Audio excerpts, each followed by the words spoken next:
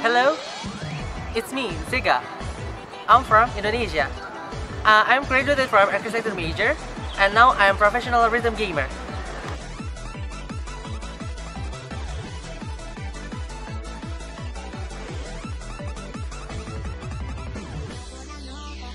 I always join the local, national, and international competition.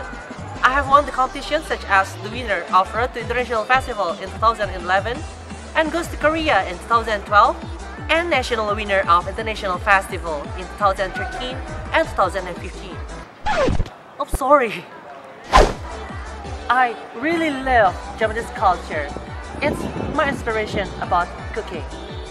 I learned a lot uh, from my cooking division in my Japanese club in the university. In cooking division, we always try to cook many kinds of classic Japanese food. I also have a private trip with my friends who loves to cook many creative dishes. We always elevate classic and fuse it with modern touch. We like to play at my kitchen to have cooking studio for experimenting the new fusion dish or even the new cooking tools. I like to cook fusion food. I like to cook fusion food with Japanese and with other cuisines such as Western, Indonesia, or Southeast Asia. My signature dish is takoyaki sambalado. Takoyaki is a classic Japanese street food. I combined takoyaki to sambalado which is so Indonesian.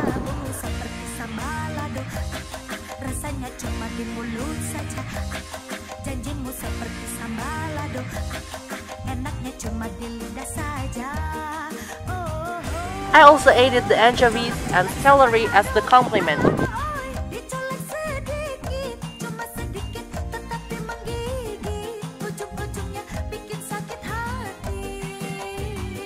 And this is my takoyaki sambalado.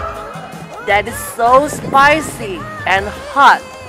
Really combine the flavor of Indonesian and Japanese.